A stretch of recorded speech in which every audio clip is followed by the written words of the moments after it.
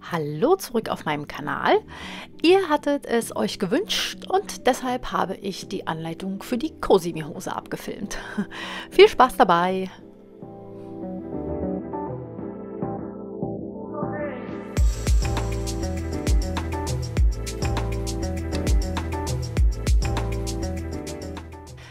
Ja, die Cosimi-Hose ist wirklich perfekt für den Herbst. Es ist eine ganz tolle, bequeme Hose für dehnbare Materialien. Also für den Herbst und Winter würde ich sie aus Zwett oder ähm, Jersey nähen.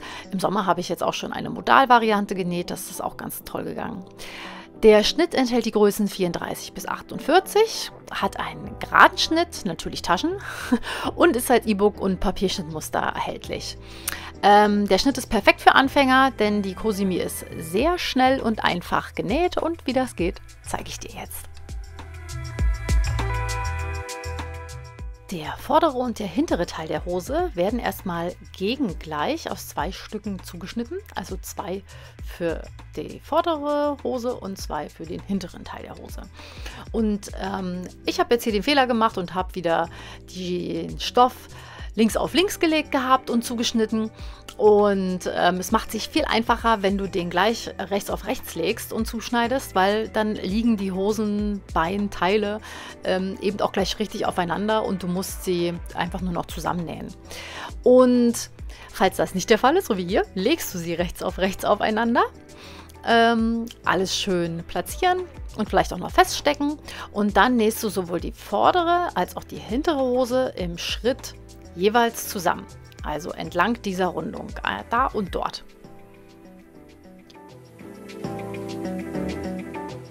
Und dann geht es auch schon los mit den Taschen. Und die Taschen werden als Taschenbeutel zugeschnitten und das auch gleich wieder zwei Stück, ähm, die gespiegelt sind, also quasi gegengleich sind. Die sind beschriftet mit Bruch, da wird nachher das Ganze zusammengefaltet, damit diese Tasche entsteht. Und die haben noch die Beschriftung Seitennaht und Tascheneingriff drauf.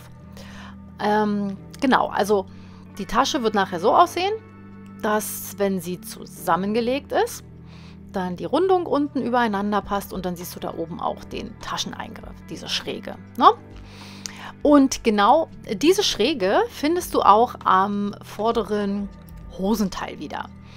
Das heißt, jetzt nimmst du dir das zusammengenähte, ähm, die zusammengenähte Vorderhose, ähm, legst sie mit der rechten Seite nach oben vor dich hin und dann hast du oben die kleinen Ecken. Hm, das war wohl die falsche.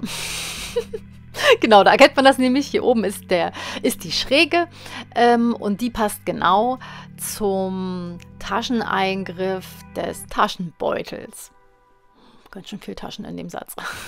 genau, das ist die. Und jetzt nimmst du dir den passenden Taschenbeutel und legst ihn genau mit der gleichen Schräge rechts auf rechts an die Hose und nähst ähm, das Ganze zusammen.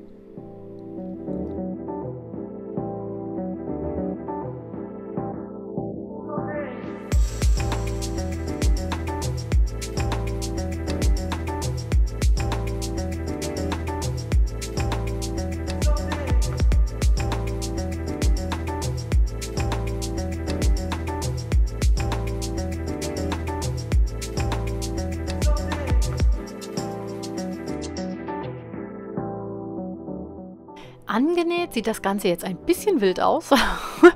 ähm, ja, das muss so sein. ein bisschen Hose mit Flügeln. Ne? Ähm, jetzt werden wir den Taschenbeutel legen.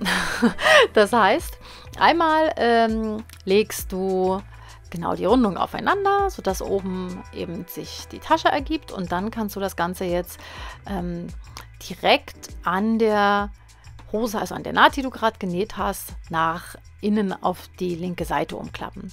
Ich mache es immer so, dass ich jetzt hier schon mal den Beutel fixiere und feststecke. Und die Rundung wird dann unten auch gleich zusammengenäht, sodass du eben auch den Beutel hast. Genau.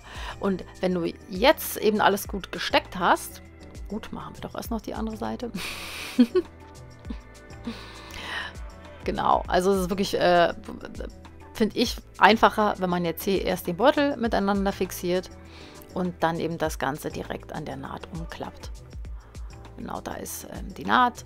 da umschlagen und dann siehst du eigentlich auch schon, wie sich der Tascheneingriff dann ergibt.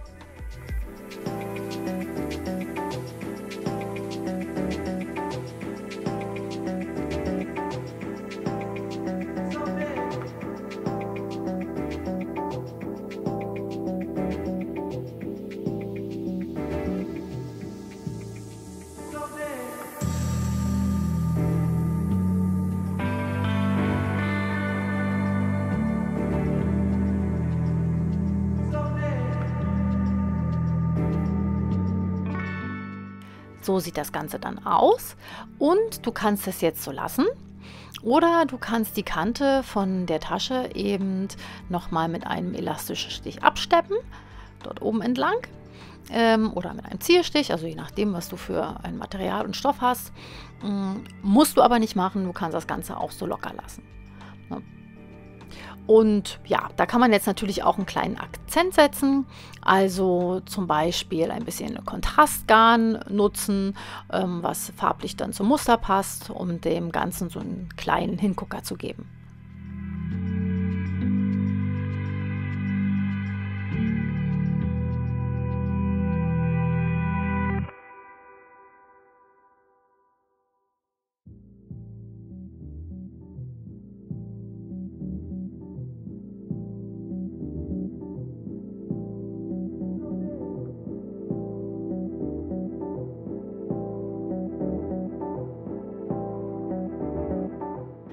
Der Taschenbeutel ist da jetzt schon zusammengenäht.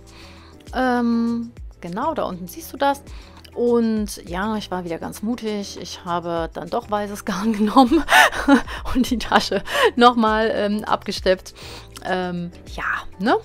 Wollen wir ja nicht zu viel Farbe reinbringen. Das Muster ist ja schön auffällig. ähm, genau, jetzt kannst du alles schön übereinander platzieren und dann sollte sich das auch alles sehr gut legen. An der Seite, das ist jetzt Jersey, der rollt sich dann immer so ein bisschen ein. Ähm, dann sieht das manchmal so aus, als wenn das nicht passt. Tut's aber, wenn du richtig zugeschnitten hast. Ähm, da musst du dann gleich nochmal drauf achten, dass der auch schön gerade liegt. Aber auch oben siehst du jetzt, da wo die Klammern sind, dass ähm, die Tasche sich eben schön auf die Rückseite legt und oben auch vom Abschluss her sehr gut passt. Ähm, genau, jetzt fixierst du den Taschenbeutel da an der Vordertasche, dass der da schon fest ist und alles gut und glatt liegt. Und dann geht es weiter mit dem Zusammensetzen der Hose.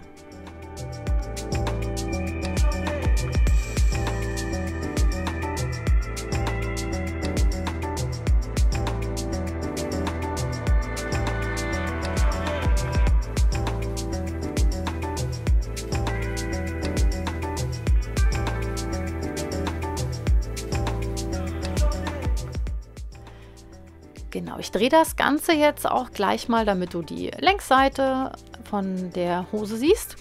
Ähm, genau, jetzt holst du quasi die, ähm, die Rückseite der Hose, die auch zum zusammengenäht ist, legst sie rechts auf rechts auf das Vorderteil der Hose und jetzt ist eben hier so ein bisschen bei dem Jersey die fummelige Variante. Ähm, dass das alles gut aufeinander liegen muss und der Jersey sich da an dem Rand ja manchmal so ein bisschen ähm, einrollt. Ne? Deshalb habe ich mir das jetzt hier ganz sauber alles festgesteckt und dann wird es letzten Endes einfach nur einmal von oben nach unten aneinander festgenäht.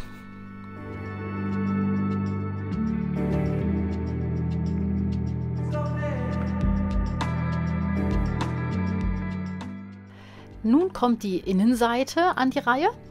Also, das sieht ja jetzt schon sehr nach Hose aus. Jetzt musst du nur ähm, auch nochmal die Innenseite schön rechts auf rechts aufeinander legen. Auch da bitte gut fixieren und dann alles dort entlang einmal zusammennähen. Ich fange immer da auch im Schritt an. Da hast du ja jetzt die Naht ähm, von vorderer Hose und hinterer Hose wo du beide Teile zusammengenäht hast. Und dann, ähm, also da, von da fange ich an zu heften und nähe dann aber einmal im Rutsch von einem Hosenbein hoch und dann wieder runter.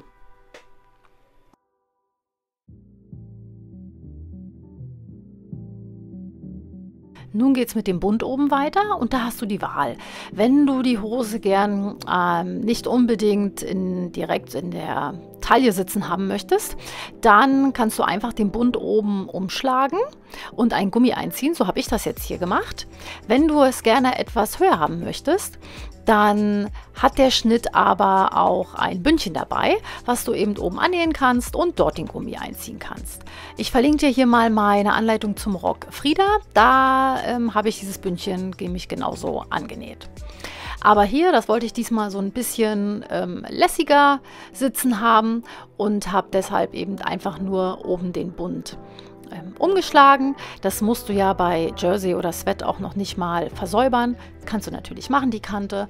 Ähm, ich habe es jetzt hier wirklich bewusst sein gelassen, weil das zwar natürlich von innen ein bisschen schöner aussieht, aber die Kante eben auch automatisch dicker wird. Ja, also, ich habe es umgeschlagen, den Gummi erstmal abgemessen, dass der die Länge hatte, so wie ich es halt gerne vom Gefühl haben wollte von der Festigkeit. Das Ganze dann einziehen, den Gummi zusammennähen und dann das letzte Loch schließen. So sieht das Ganze dann aus.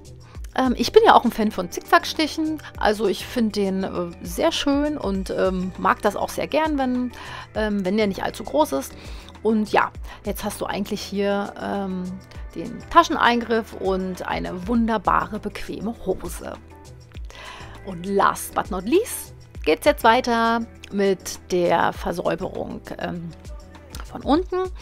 Ähm, und da habe ich es auch einfach nach innen umgeschlagen. Du kannst da aber auch gerne ein Bündchen annähen, wenn du möchtest. Du kannst zum Beispiel auch da unten einen kleinen Gummizug reinmachen, dass das so ein bisschen sich ähm, zusammenstaucht. Das sieht auch ganz toll aus, so Sneakers oder so. Also da gibt es ganz viele Möglichkeiten. Ja, das war's dann nämlich auch schon. Und ich wünsche dir viel Spaß beim Tragen deiner Cozy Me. Ich habe in meinem Shop auch ein passendes Nähpaket mit dem Stoff inklusive. Also der ist echt super, finde ich.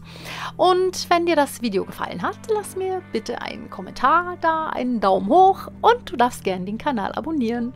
Ich würde mich sehr freuen und bis zum nächsten Mal.